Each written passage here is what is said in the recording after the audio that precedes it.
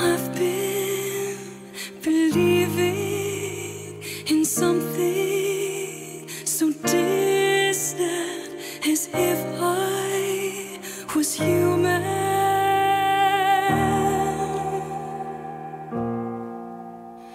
And I've been denying this feeling of